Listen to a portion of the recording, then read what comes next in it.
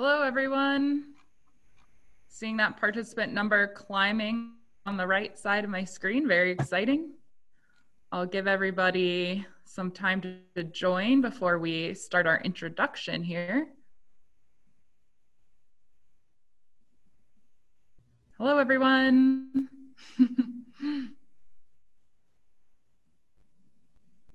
we will get started in just a moment. Waiting for that attendees number to kind of level off as people join. Super exciting. Glad everybody is here.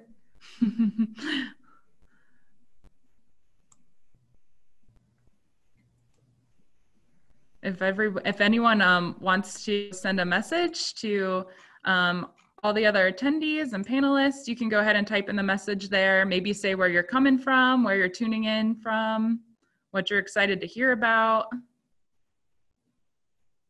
Anything like that. Oh, someone from Austin. Very cool.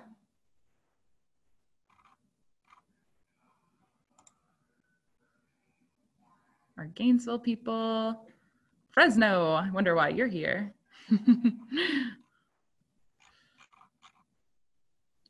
awesome.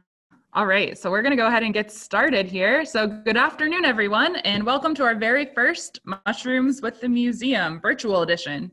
Um, my name is Chelsea, and I'm a museum educator at the Florida Museum. And along with Sarah Prentice from the Florida Academic Lichen and Fungi Enthusiast League, also known as Falafel. Um, say hello, Sarah. Hello. Um, so today you're going to meet a variety of mycologists who are excited to share fungal biology, identification, mushroom myths, and even cooking with you. So you'll all notice as you join that you are muted with your cameras turned off. Um, this is because we are hosting this via a Zoom webinar. So the chat option will remain open throughout the event, um, so you can use that respectfully, um, but your video and your voices will not be heard throughout the event. Um, so the chat option will, will be there for you. Um, so if you have any questions for our scientist, please submit it through the Zoom chat. Um, and make sure that when you do that, you're addressing it to the everyone section so that we can all see your questions. Um, so one of our behind the scenes staff, um, one of my good friends and coworkers, Amy Hester is there. Um, so she's gonna be compiling the questions so that we can ask our scientists out loud periodically. In addition, we also have a few of our fungi experts in the chat. Um, you'll see uh, Lichen Laurel and mycologist Nicole in there who will answer some of your questions in the chat as we go on. Um, so one thing we wanted to mention that uh, just something to keep in mind, uh, always remember that members of the public should never consume wild mushrooms that they cannot positively identify as edible. And we'll be talking about that more as the program comes on, but just something to just put that in there right at the beginning. Um, so when in doubt, throw it out. Um, when the event is over today, please consider filling out the survey that we're gonna post in the chat. Um, it'll also be sent out in your email. This survey will help us plan more virtual events in the future, so it'd be really awesome if you can help us out with that. Um, we'll also be posting the resources discussed throughout this event um, on the museum webpage. They're already there now. Um, and Amy will also be posting that in the chat, the link to that in the chat so that you guys can click on it. Um, I believe she just posted it now. Um, so with that, let's get started. Um, so as I ask you a poll, which you guys can click on um, within the webinar, um, our scientists are gonna introduce yourselves. Um, so we are going to start with Matt. Hi, everybody. Uh, it's a pleasure to be here. My name is Matthew Smith, and I'm a fungal biologist and associate professor in the Department of Plant Pathology. And I also serve as the curator for the fungus collection, and I teach about fungi, and I'm basically really into them, so I'm, I'm really excited to be here. Um, I study all different kinds of fungi in my lab, but I'm especially in love with truffle fungi. So uh, we won't talk about them a lot, but, but we'll slip them in a little bit. Uh, the next mycologist is going to tell you about herself, Rosanne. Hi, I'm Rosanne Healy. I'm a mycologist at the University of Florida, where I was involved with the plant pathology teaching program and collections management for the fungal herbarium since 2016. Now I'm doing full-time research on cup fungi, which include things like morels, saddle fungi, and truffles. And my research focuses on fungal relationships, particularly for the cup fungi. I'm most interested in how these fungi have moved around the world in the past and in the traits that have fostered their ability to adapt to climate change and new habitats. And now Alija is going to introduce himself. Hi everybody, I'm Alija Mujic and I am an assistant professor at California State University, Fresno. Um, hi everybody who's here from Fresno. Um, so I am involved with this crew because I have previously been a postdoctoral associate in Dr. Smith's lab, who's here as our uh, introduced as the first panelist. And I'm also a co-founder of uh, Falafel, the Florida Academic Lichen and Fungi Enthusiasts League. Um, so I no longer serve in any, any capacity for them other than avid um, follower and volunteer from time to time. So I also study um, truffles and I study fungi in general from many different angles, fungal biology, but physiology, ecology, and evolutionary biology, like um, evolutionary relationships. I'm especially interested in ectomycorrhizal fungi, those fungi that associate with the roots of trees and trade nutrition. So that's enough for me for now. Uh, I'll talk more with y'all later and glad to be here. I'll pass it on to Ross. Hi, everyone. Uh, glad you all could make it and uh, happy to learn all about uh, fungi together. Uh, my name is Ross Joseph. I'm a PhD student in the Department of Microbiology and Cell Science here at the University of Florida. And I work in Dr. Nemat Keyhani's lab. And we uh, research fungi that infect insects and also plants. And we also work on fungi that are symbiotic with insects and plants. And so in these systems, we're particularly interested in the genetic and molecular mechanisms of how these fungi are actually able to sense and interact with their host organisms. So in particular, I work with a fungi called Raffaelea lauricola, and this is a fungus that is symbiotic with a small species of beetles called ambrosia beetles and pathogenic with trees in the family Lauraceae. So we'll get into this a little bit later uh, briefly, but I'm, I'm very excited to be here and to uh, participate in this fungal event. I'm also the, the current acting president of Falafel, so uh, I'm very happy to see everybody coming in and showing interest. So I'll, uh, with that, I'll pass it on to Sarah. All right, um, thank you, Ross. Thank you, everybody. So I'm gonna pass it back to Ross to kick it off with some fungal biology. Okay, great. So um, as the name would suggest, uh, this event focuses largely on mushrooms, but actually to put everything into uh, the proper perspective and context starting out, um, I'd like to begin by talking about fungi more generally. And this is actually a very important distinction because what we see when we look at a mushroom uh, is actually just the tip of the iceberg in terms of the whole organism. The real bulk of a fungus actually exists as microscopic cells that are often hidden out of sight.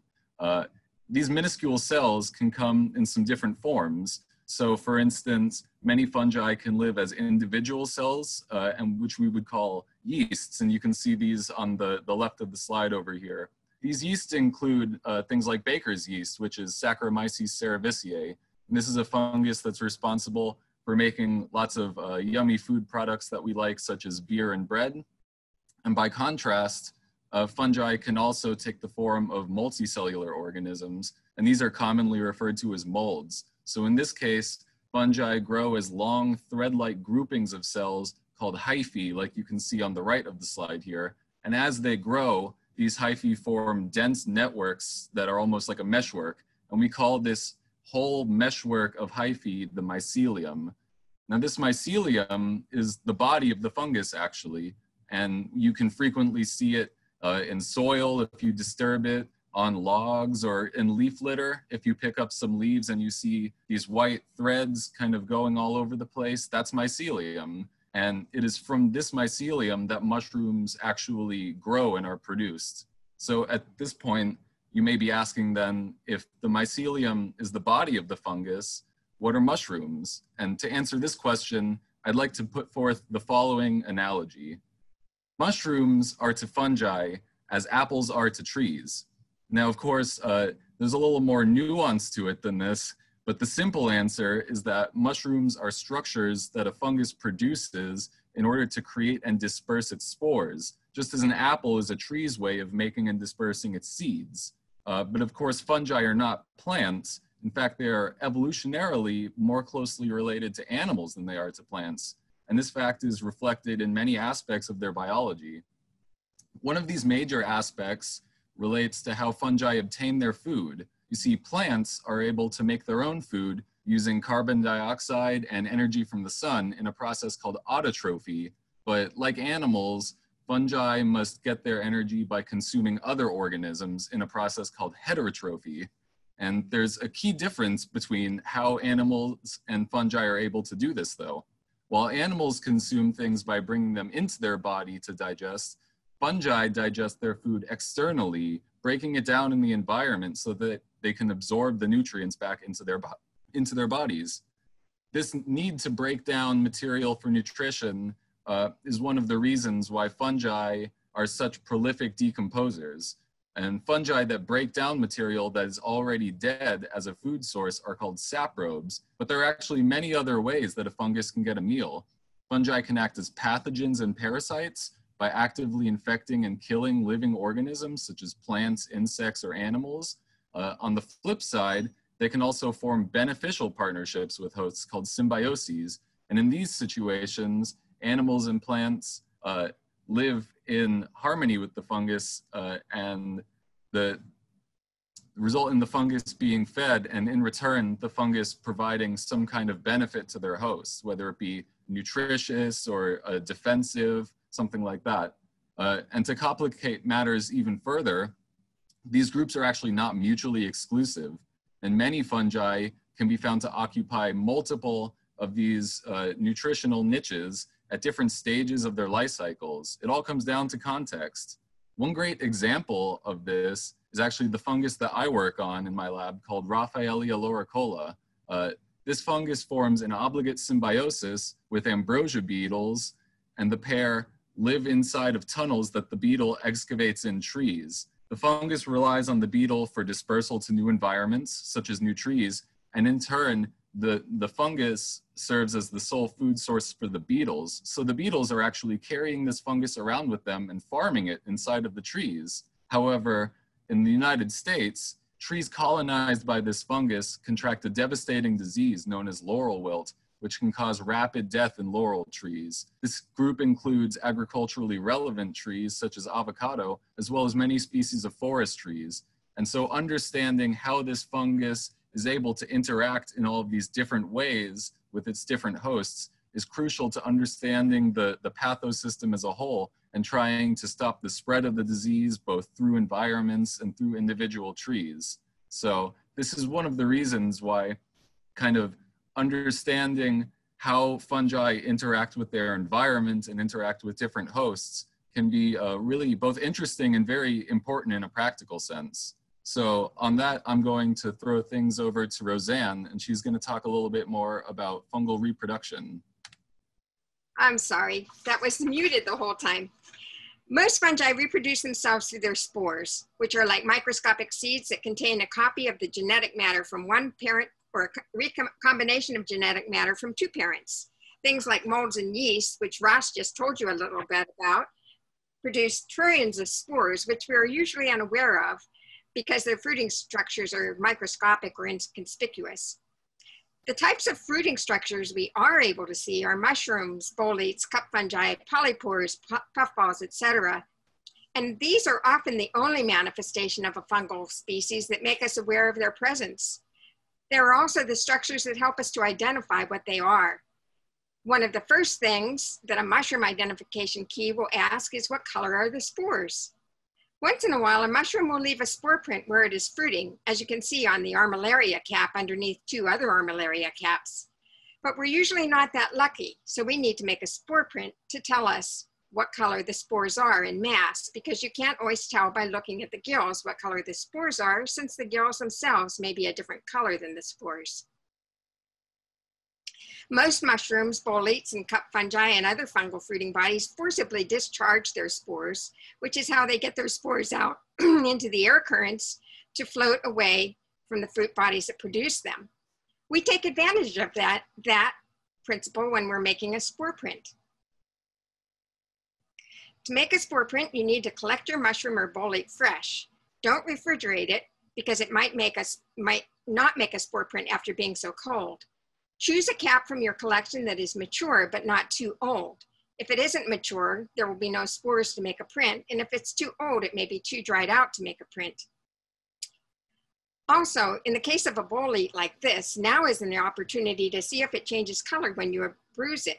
Here you can see from a previous bruise down on the left-hand part that it did change a color, in this case, dark blue. And then you want, would want to note that. So you cut off the cap, lay it pore side down on white paper, cover it so that it doesn't dry out before it can shoot its spores, and leave it for at least four hours or overnight and then check it. This bolete has dark brown spores. If you have a mushroom that you suspect might have white spores that would be hard to see against white paper, like this Amanita, you can choose a background where white will show up. Not everything shoots their spores like mushrooms, boletes, etc. Some are passively released from their basidia and rely on something like raindrops or small woodland animals to push on the fruit bodies, forcing their spores out, like this puffball. Others, like stinkhorns, trick flies into dispersing their spores for them by emitting foul odors that smell delicious to flies and beetles. Others, like truffles, also emit tantalizing odors that even attract humans, though we can't smell them when they're underground. However, woodland mammals can detect them and are important dispersers of these spores. They eat them and then usually carry the spores further away than the air currents in a woodland habitat can take them. Where the mammal defecates is where the truffle spores can germinate under the right conditions. There are other ways that fungi disperse their spores, but we could take a whole session ju just on spore dispersal.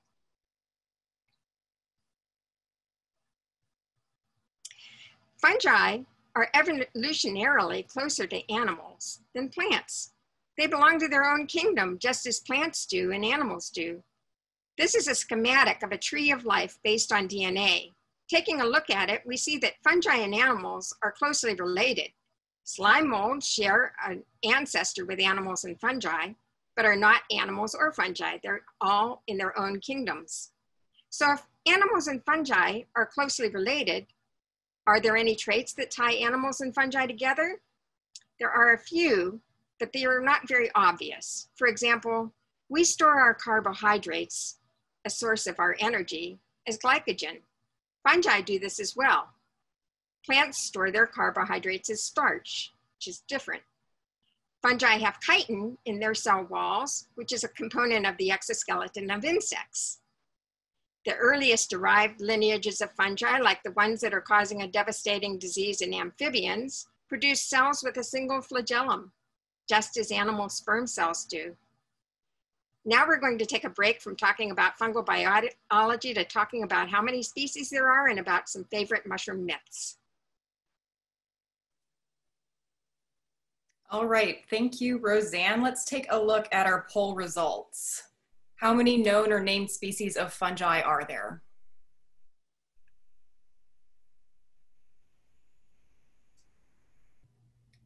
All right, yeah, two thirds of uh, our participants are correct. There are more than 100,000 known or named species of fungi. So, uh, all right, that, let's kick it over to Matt. Yeah, so I'm going to talk for a couple minutes uh, about fungal diversity, and I'm really glad to see that many of you knew that there are more than 100,000 species. Uh, so most of the described species of fungi are macroscopic, which just means you can see them with your naked eye. And so we can pick them up, we can look at them in the lab, and they're, they're easy to find, but there's actually a lot of other fungi where you need a microscope to be able to look at them. And 100,000 species, it kind of sounds like a lot, but actually, when we look really carefully at fungi, and also especially when we use um, data based on DNA sequencing, which Ali is going to talk about in just a minute, um, from some substrates like soil, we know that there's actually a lot more than 100,000 species. The most mycologists think that, that it's a reasonable estimate that there's between 1.5 and 5 million species, and there's some mycologists who think there's even more than 5 million species. So there's a couple of different reasons why that might be the case. This huge range and that we don't know um, as much as we would like to. So many species actually look the same, and even when you look at them very carefully, things that are different species might be hard to tell apart. So that's one of the reasons that fungi, it's really hard to tell how many species there are. The other thing is that we depend on fruiting bodies, even if they're small, fruiting structures are important for us to determine what species they are. And so a lot of fungi make their fruiting structures only for a short period of time and maybe only in a specific place during that short period of time and then they're going to rot away. So if you're not there on the exact right day, in the exact right place, you can't collect those fungi. And that's different than plants where you can, you see a plant flowering and you want to collect the seeds, you can go back to that same place maybe in a month or something like that and find it. But for fungi, there's a lot of hit and miss uh, with that. So uh, I would say that the thing that I find really interesting about fungi is that we're really still in the age of discovery where we're learning a lot all the time. And that's part of what makes it really fun to be a fungal biologist. Ollie is going to tell us a little bit more. Hi, everybody. So um, I'm going to talk just a little bit about, you know, why are fungi so hard to study? Uh, part of it is that fungi are hard to find, as Matt has just told us. Uh, you know, they're only there for just a moment. And if you don't catch it, if you don't catch that mushroom fruiting, you won't ever know the organism is there because it's living in some type of a substrate like wood or soil that you can't see into. And this is an image, what you're seeing here is an image of the fungal tree of life. This is, to the best of our understanding, how the different phyla of fungi are related to one another. So the names you see here are phyla of kingdom fungi, and a phylum is just the classification level just under kingdom, for those who aren't familiar with all the biological jargon. Um, so the most of the fungi we know, the most diverse phyla of fungi, are those two at the bottom. They are Ascomycota and Basidiomycota. And you can see pointing on the tree right there, it says origin of complex sporocarps. You could say fruit bodies as well. Sporocarps is a fancy name for a fruit body or a mushroom. The reason those are probably the most diverse is because it's a sampling artifact. You know, this is like what we can see. It's what's easily seen. And you can see that the most of the kingdom fungi, all of those earlier diverging lineages that you see above, those tend to be, those phyla are smaller. We don't know as much of the diversity there. And that's probably because we just haven't found them yet. And uh, there's a lot of places those fungi are hiding, and I'm going to tell you a little bit about how we're looking for them. Um, next slide, please. So um, I'm showing you two different uh, literature sources here, and I want to point out that on the cover of Science Journal right there, you can see in red is circled soils, the final frontier. Um, and that's because that's where a lot of the fungi are hiding a lot of fungi, they don't ever make a big structure you can see with your naked eye. And they're just living in the soil, doing their thing, uh, supporting every terrestrial ecosystem. Uh, and we can't see them. And on the right, you see another image from this uh, paper out of Nature, another journal, scientific journal. And the green circles in these Venn diagrams represent the number of species that we have described to date. And this is a little out of date. You can see this is from like 2014, this image. Um, there's more now. The dark gray and the light gray circles outside of those green circles tell you kind of our estimated lower and upper bounds of what we think might be out there. And you can see for stuff like plants, plants are pretty well described. That green circle fills most of the gray. And it's in part because plants don't move. Plants are there, they're waiting for us, and they're always up if they're up. Um, so if you're studying a plant, you want to go back and learn more about it, you can just go back to it and see what's there just by looking. You can't do that with fungi. Animals, of course, there's a lot of diversity there. A lot of that is probably insects because animals are hard to see, or uh, insects are hard to see and find and describe. And fungi, the amount of diversity that exists that we don't know about yet is just huge. Um, so it's an exciting time to be a mycologist. And a big part of what we're doing is finding techniques to look at things like soil that are hard to study and hard to find fungi in. So if you show the next slide, please. Part of the way we're looking in soil and studying fungi in soil is using DNA technologies. And we go out into the environment, we get DNA out of the soil, and then using various different techniques, uh, genetic techniques, we sequence all the fungi that are in there. So you can see we're getting a cell with a nucleus and the chromosome, and there's their DNA. Then we use DNA sequencing to make a fungal barcode. And a barcode is just a region of the DNA, a part of the genome that we can use just like a fingerprint. The same way you would identify an individual person by their fingerprint, you can identify an individual species by these regions of the genome that we think of as a barcode. And we tend to use a 97% similarity as a cutoff. As with all things in biology, there's a little wiggle room. You know, nothing in life is black and white. There's always gray areas in between. And so there's a little variation that's natural. So 97% is what we use. And we compare that sequence that we got from the environment to a database. And there's a lot of these databases, some of them maintained federally, like the GenBank database of the National Center for Biotechnology um, Information, um, which is run uh, through the uh, government, through the National Institutes of Health, through the US government. Um, so once we've got a sequence, that doesn't mean we necessarily know what it is. It has to be in the database. So let's talk about that. How do things get in the database? Next slide, please. A big part of the work that I was doing as a postdoc in Matt's lab in Florida was looking at fungal diversity in Patagonia. So Patagonia is this region of Chile and Argentina in the southern ends. There are these beautiful temperate rainforests down there of trees and the, they're called southern beeches. And we were studying all the different fungi that are there. And you can see there's a lot of different forms here. There's mushroom-like forms, there's coral-like forms, there's some truffles in the bottom left, and there are these weird like ascomycete, kind of brain-like, almost look like morels. Those aren't morels. It's a South American uh, relative that just kind of looks like a morel. Um, so uh, we were out there collecting all these fungi because we wanted to know what was there. And so we put together some statistics. If we take a look at the next slide. And so what we did is we did a study, and this was just the things that we could find because people had gone out into the environment and they had made a bunch of sequences and put them into the database just from soil, unknown fungi in the soil.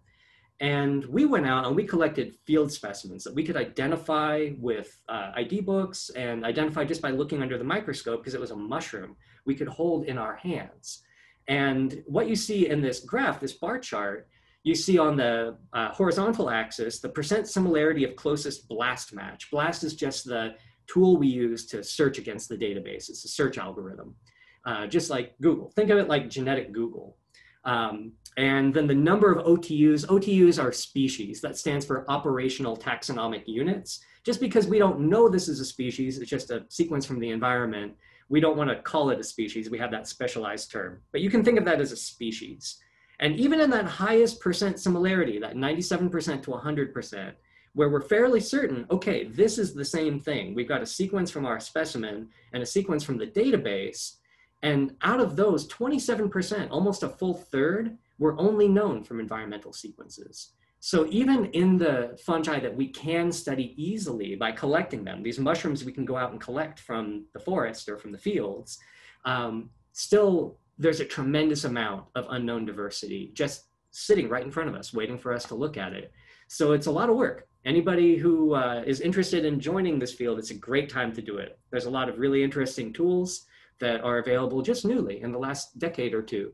Um, so uh, with that, I'm going to um, pass it on to a couple of select viewer questions. So some of the questions y'all have been posting in the chat. Take it away, y'all. Thanks, Alija. Um, and so we're gonna have another time for questions here at the end, but we figured we'd go ahead and address some um, about halfway through the program. Um, so our first question, um, since Alija, you're you're still on the on the horn here. Um, the first question I'm gonna put to you. Um, so if there are so many undiscovered fungi, why did you go all the way to Patagonia to study them? well, i will start that question off, and I might pass it on to Matt because Matt is really the the um, kind of mastermind behind that whole project. Um, but the short story is that Patagonia is a remarkably understudied in terms of genetics. There's been a lot of mycologists there sampling and identifying things just by um, visual, you know, looking under a microscope and looking at the mushroom itself but no one had ever gone and really done an in-depth sequencing of what was there. And we wanted to populate databases and understand the diversity of fungi in South America because South America doesn't exist in isolation. it was at one time connected to Africa and also to Australia and Antarctica. And we were looking to see the relationships between all of these different fungi between Southern Hemisphere habitats. And it turns out they're actually pretty close. No one had really looked at the sequence data from South America.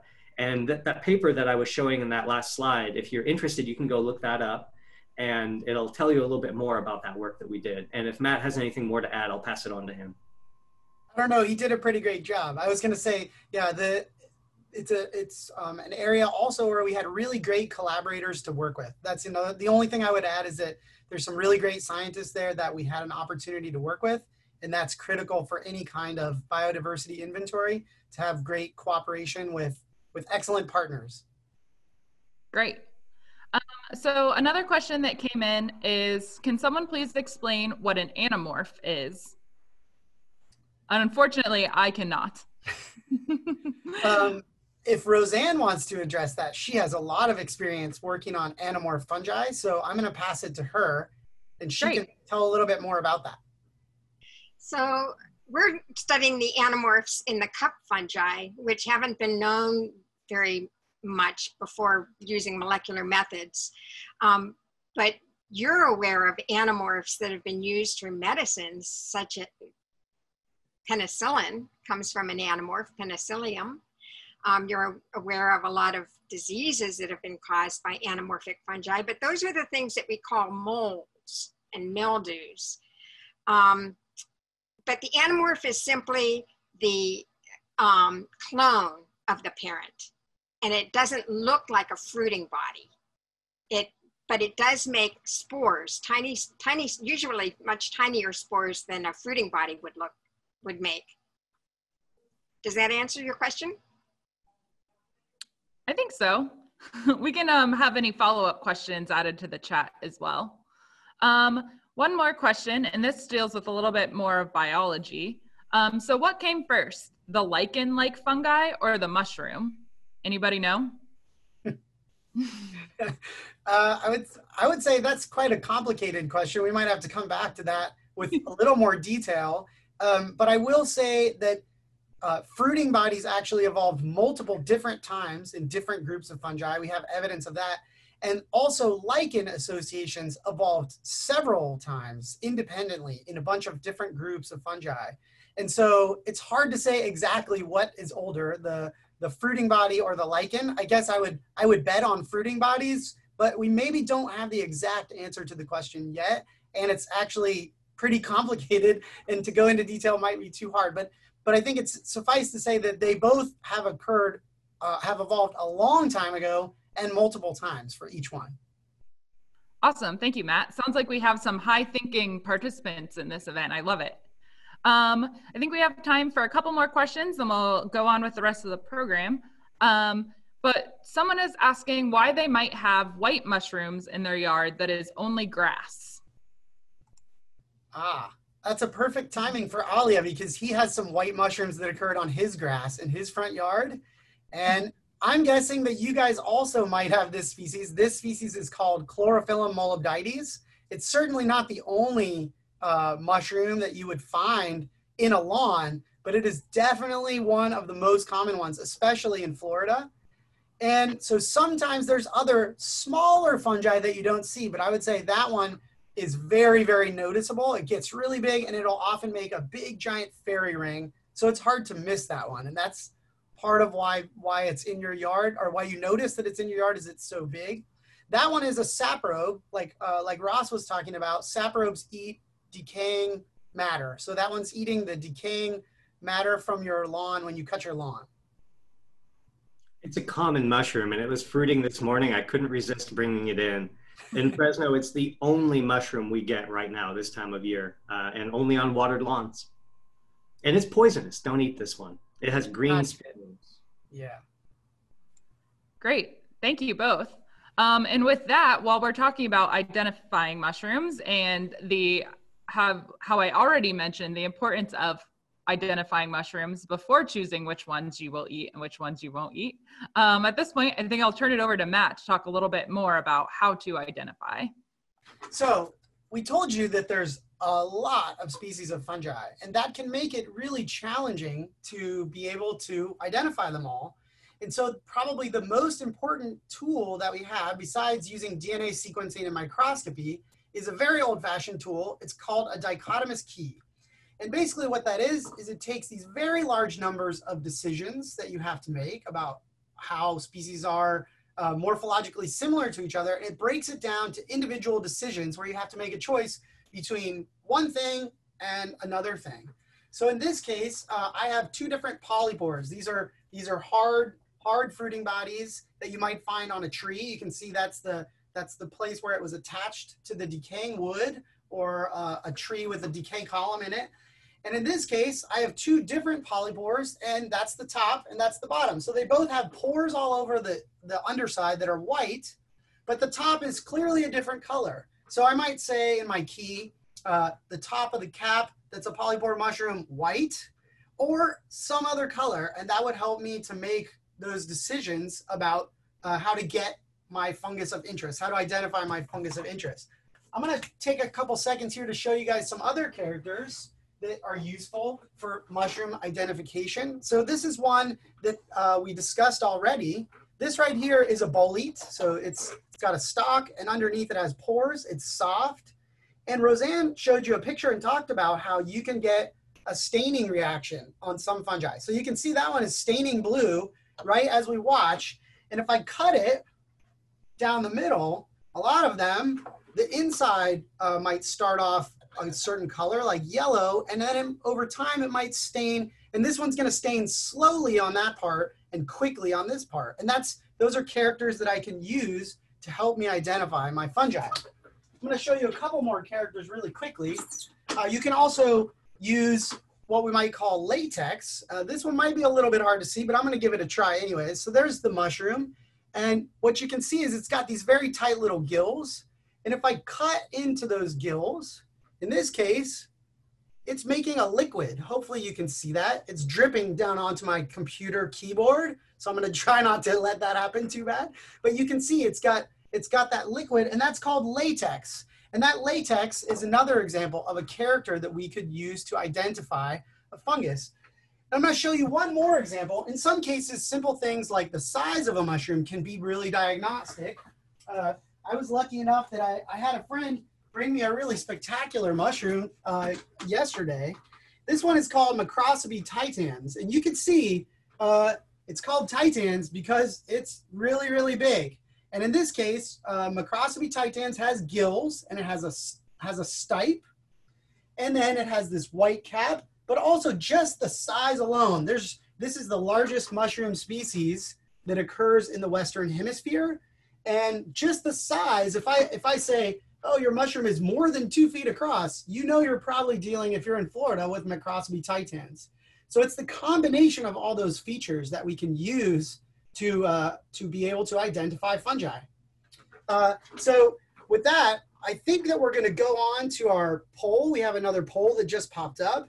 And so if you can, if you can uh, click on that, then we're going to talk about the results of our poll next.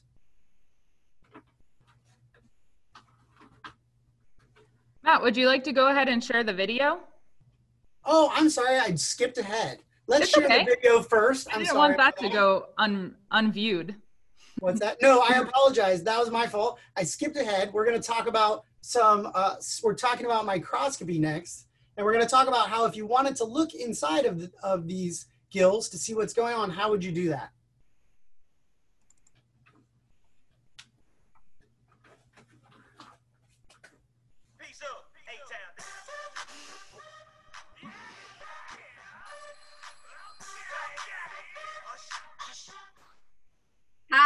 I'm going to show you some tips on preparing mushrooms for identification using microscopy.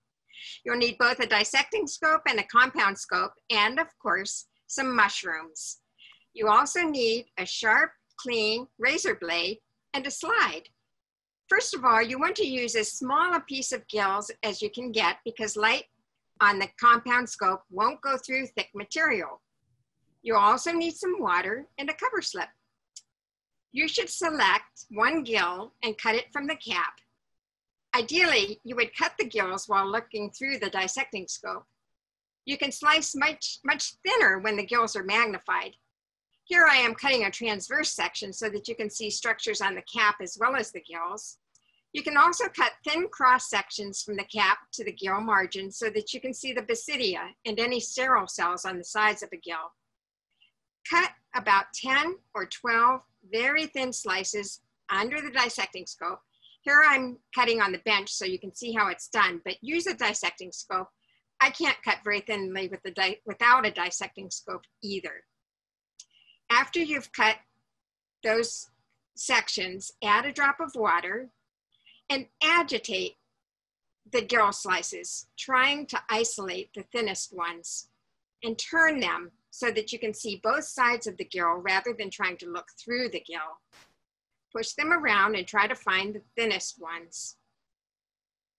Then you want to gently lower your cover slip and add some more water and using your razor blade, you can help to lower the slide slowly to push out all of the air, which you usually don't. so you need to push, push maybe with your razor blade again, very gently to push out all of the air so that you don't have air bubbles in the way. And after the slip is on, you can push, you can um, take it to the compound scope and look at it. And here we're looking at some smooth spores under a 100x objective, but you can also see tuberculate spores, spiny spores with connections like this Elaphomyces or this tuber spore, or you can see just spiny ones or spores that are merely bumpy. The ornamentations on gills are very important for distinguishing among species of fungi. So as you can see, microscopy can be very important for identifying fungi. We hope you enjoyed this quick video and basic tips with, about light microscopy.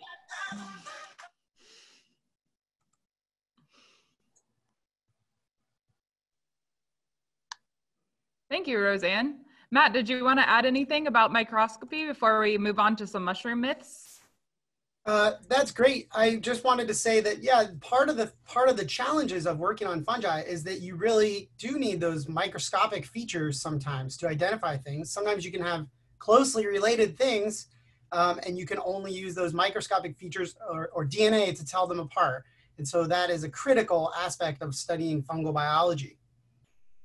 We also want to make sure we give a shout out to Matt's son who put together that awesome video for us. yes, thank you, Finn. Thanks, Matt. Um, Sarah, do you want to tell us a little bit about some mushroom myths? Uh, yeah, can we get a look at the results of that final poll? Yeah, definitely. Okay. Wow, great. Um, an overwhelming majority of our participants acknowledged that picking a mushroom does not kill the fungus. So great work. Y'all been reading up. So um, I'm going to discuss some mushroom myths. I've participated in dozens of mushroom walks and fungal forays in addition to online identification forums, and there are a few questions that always come up. So one of the first questions I hear is, will the fungus hurt me? Do I need to wear gloves to examine this mushroom in my yard? Um, unlike some plants, like I think poison ivy, handling mushrooms is safe. Handling a mushroom is not going to hurt you. You must consume a toxic mushroom to be poisoned by it. And then people often ask, well, I hurt the fungus. And as most of you acknowledge, that the mushroom is the fruiting body or the reproductive structure of the fungus. And plucking a mushroom isn't like yanking up a sapling. It's more like picking a fruit off a tree, like Ross covered earlier. Um, that being said, there's no reason to collect 50 of an unknown species. You can take three, four, five fruiting bodies to identify, especially if you can get them in different stages of growth, different stages of maturity that will help you with ID. Um, and of course, whenever you're collecting fungi, be respectful of the environment. Don't stomp all over everything. Um, another misconception is that all mushrooms that bruise or stain blue are psychoactive or psychedelic, and that is not true. It can be an indicator for some species, but it's not across the board. Like that bolete Matt showed us earlier, that stained blue. No, that's that's not uh, a psychoactive mushroom. Uh, there's no shortcut, there's no tell to determining mushroom edibility or toxicity. You have to identify each mushroom before you consume it. Um, so, speaking of consumption, let's turn it back over to Alija to show us how to cook confirmed edible mushrooms. Hi, everybody. So, yes, uh, I started my career as a mycologist, not as a scientist, but as a chef. Um, so I worked in catering and was really interested in learning how to collect and cook wild mushrooms for my table. And I started asking all these questions of my teachers, like, you know, why does it only grow this time of year? And why only with this tree? And why only when this other mushroom is fruiting? And they said, gosh, you know, I don't think anybody knows and you're kind of bugging us. so why don't you go figure it out? And that started my career as a scientist. Um, but I was first collecting for the table. And the image you see here, this is a chanterelle. If you're familiar with wild edible mushrooms, chanterelle is the French name, and there's myriad names for this fungus because some version of this fungus, some member of the genus Cantharellus, which this is in, grows almost everywhere in the Northern Hemisphere uh, where there are temperate forests and some tropical. Um, so this particular mushroom is big. You can see that's a colander. For those of you out east, you may not be familiar with this particular chanterelle. This is the California chanterelle, uh, Cantharellus californicus, and it grows under our coastal live oaks that we have here in California, as well as some other oaks in the state. Um, it was the first wild edible mushroom I learned to pick, and I'll talk a little bit today, first about preservation, and then we'll talk about how to cook with wild mushrooms. So when you're preserving a mushroom, the most classic way of doing it, the way that most people think of is to dry them. And that works great. If you slice it thin, you know, slice the whole mushroom into slices no more than an inch thick, put them in the food dehydrator at the lowest temperature, and let them dehydrate for 24 to 48 hours. Put them under glass where they won't get wet again. Maybe freeze them for a few days to kill any uh, bugs or larvae that might be in there.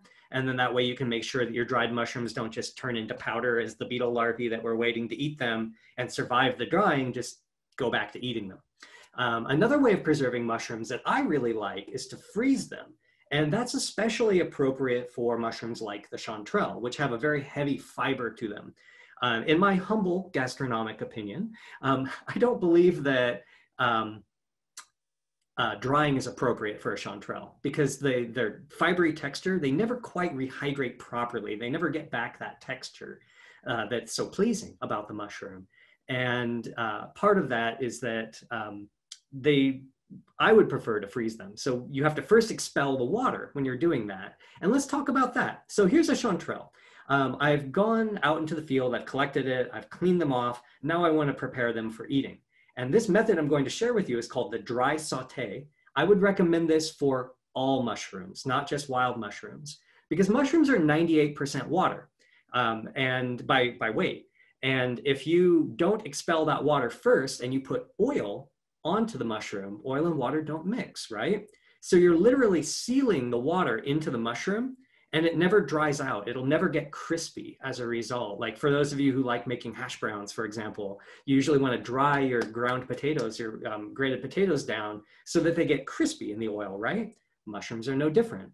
And for many people who don't like eating mushrooms, they'll tell me, oh gosh, like, oh, the textures, like slugs, they're terrible.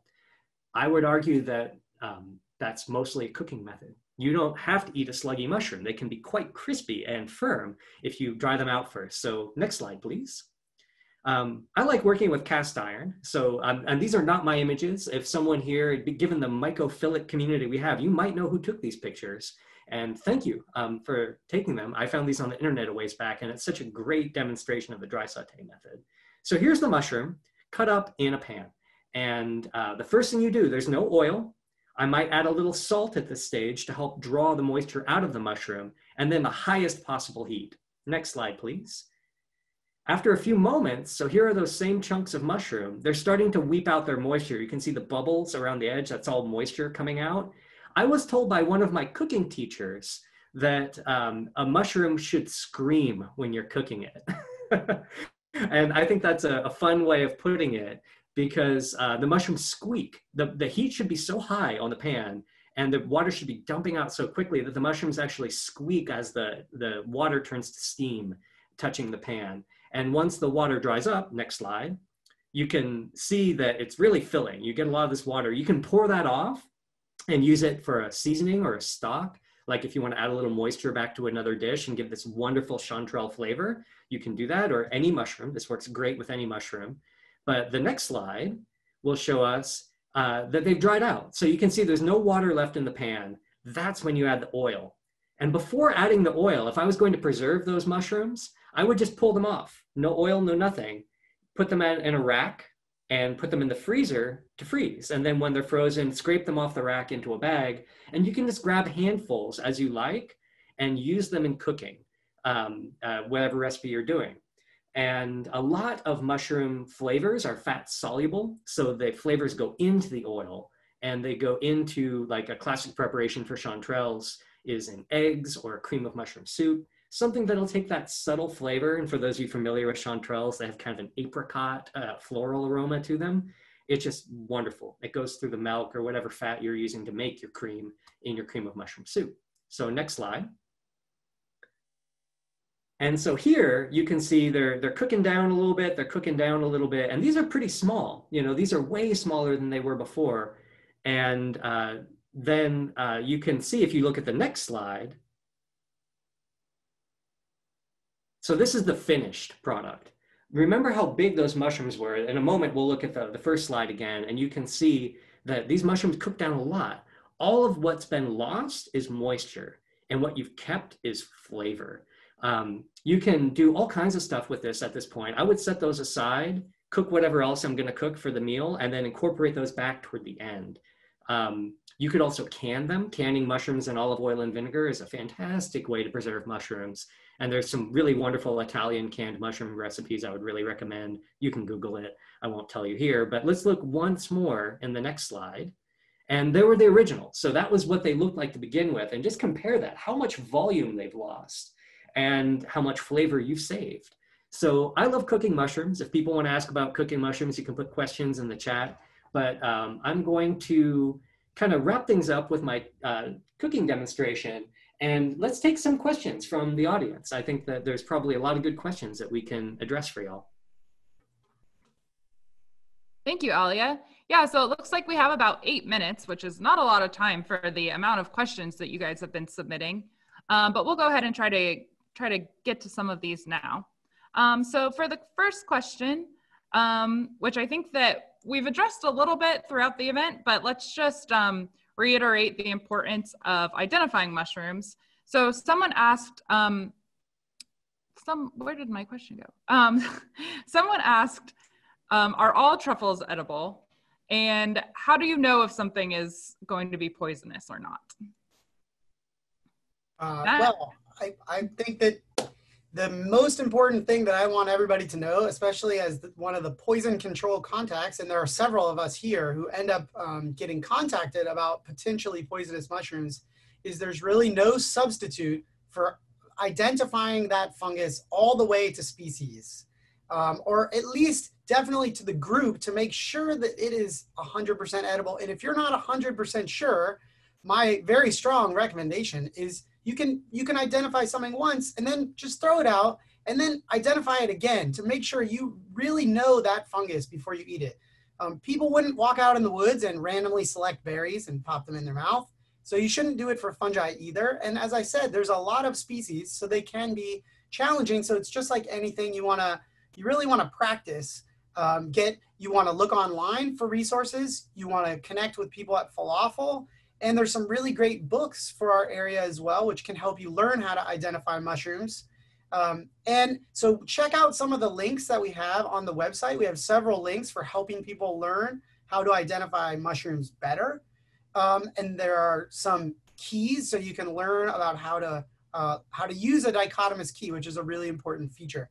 Maybe there was something else that you asked that I didn't answer, Chelsea. Did that did that answer it? Are, well, since you're the truffle guy, can you tell us oh. if all truffles are edible? So, so truffles, uh, there are different kinds of truffles. I refer to truffles as all the fungi that fruit underground and they make their spores inside of a closed body. So all the things that fit into that uh, category, I would refer to as truffles. Sometimes when people are talking about truffles, they're really referring just to the genus tuber, which is one particular genus. And I would say all of the tubers are edible. Some of them aren't very tasty and others are very tasty. So it just depends, again, on the species that you're talking about. Awesome, thank you. Um, okay, we're gonna move a little bit away from um, eating mushrooms now. And we this is kind of a big picture question. So I want all our panelists using their, their noggins. Um, but someone in the chat has asked, would you please comment on the effects of global warming events thus far on the planet-wide distribution and evolution of fungi? Um, and the second part of that question is, do you envision fungi as being a significant food source in the future? Anyone want to tackle that one? I, will go ahead and I, I, guess maybe I'll answer the first question and then other sure. people can chime in if they want. Um, I would say one of the big challenges for studying fungi is that there are so many species and we know so very little about most of the species that has been a real um, challenge for measuring the impact of things like climate change. So for example, if you only know 10 or 15% of the species, it's very hard to say um, how those fungi are, if they don't even have a name and people have never really spent time studying how they get energy, it makes it very hard to say. Um, there are some exceptions of very well studied fungi. And so for those, uh, we can say that fungi are just like other animals and plants and other organisms where probably some might benefit from warming, but in general, because of habitat degradation, probably on average, they're gonna have a lot of the same problems that uh, that plants and animals are going to have from warming. So that's that's my my personal answer to the first mm-hmm. question. I don't know if anyone else has more to add to that. Anyone else want to comment, or we'll move on to another question. I would add just a brief caveat to, to what Matt has said, and that is that um, part of the way we're studying climate change on the, uh, the effect of it upon fungi is looking at altitude. And there was actually a really great study that Matt and I were on that was uh, produced primarily by our friend and colleague, Dr. Camille Truong at the University, um, Autonomous University of Mexico in Mexico City. And uh, looking at just gradients in altitude, you follow the trees and the mushrooms up the slope and see how they change based on temperature difference. And we found, yes, absolutely. The communities of fungi colonizing trees and the roots of trees living in the forests change with changing temperatures. So we're likely to see big habitat shifts. And in terms of will fungi be an important food source in the future? The future is here. source already. A lot of things that you might not realize that you're eating every day are actually fungal products. Bread. Bread's a fungal product. Bread is one of the first fermented foods and one of the most important cultural foods for Western civilization. Um, huge, huge impact on food productivity is yeast. That's a fungus. Um, a lot of protein sources come from fungi. I could go on and on. I like talking about food. Great. Um, so what, oh, sorry. Oh, go for it, Ross. I, I just wanted to add that in addition to uh, direct changes for climate change on fungi themselves, uh, climate change has a huge impact on host species for fungi, for instance, insects. So as climates warm in some places, uh, it, insect population ranges are are changing and with that populations of fungi are changing and it can lead to some unexpected outcomes. Awesome. So I'm just going to answer, um, we'll do one more question here.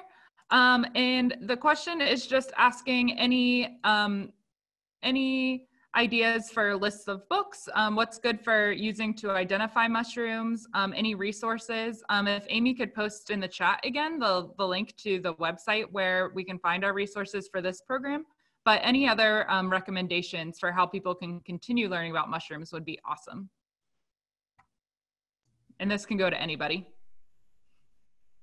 Uh, I can say that my uh, introduction to learning how to identify fungi in the wild that I see uh, was actually mostly through internet resources such as Facebook groups like the Mushroom Identification Forum, Falafel, the Florida Mushroom Identification Forum. These are all really great resources because it's a community of people. Some are very knowledgeable and some are looking to gain knowledge and it's just a place where people can freely exchange ideas. And so those kinds of resources are very helpful. Awesome, thank you. Um, so just to close out, I wanted to thank everyone for attending today. This was awesome. I did not expect to get this many registrants, so we are very excited about that. Um, I also want to thank all of our panelists. Um, if everyone can give them a round of applause from their homes.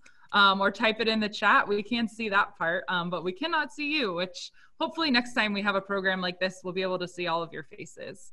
Um, and just as a reminder, um, if you had any questions that didn't get answered here today, you can go ahead and um, put those in the comments section of the survey. Um, Amy will post this link to the survey in the chat, um, but I know there's a lot of stuff going on on the chat right now, so it'll also be emailed to you. Um, it should also pop up when I close this chat. So thanks again for everyone, and we hope to see you again soon. Bye, everyone. Bye. Well,